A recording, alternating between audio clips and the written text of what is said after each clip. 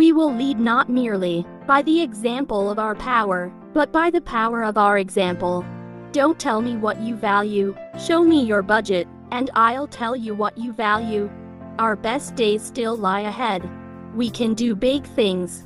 We're going to invest in jobs and infrastructure like we've never done since World War II.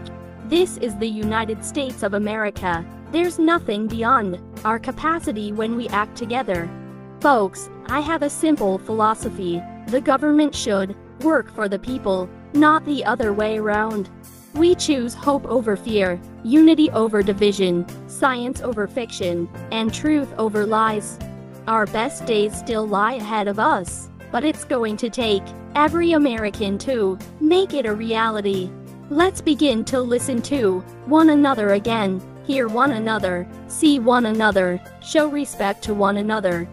We will be judged by how we resolve these cascading crises of our era. We're a nation that believes in possibilities. We're a nation that's always looking ahead. I promise you, we will get through this together, and we will build back better.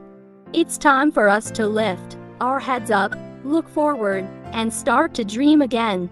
We need to restore the soul of America, and that starts with honesty, decency, and treating everyone with dignity and respect.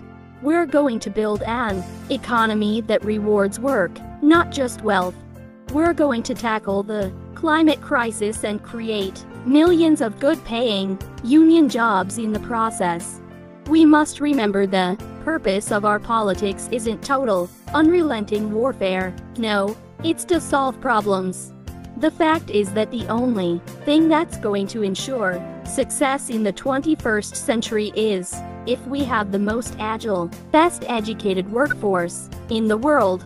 We will never again be afraid to lead, to try to resolve world conflicts, to speak out for human rights, and to defend democratic values. Our administration is going to be the most diverse in history. We can make America, once again, the leading force for good in the world. I believe democracy thrives when the infrastructure of democracy is strong. America is back, diplomacy is back, and we're ready to lead the world.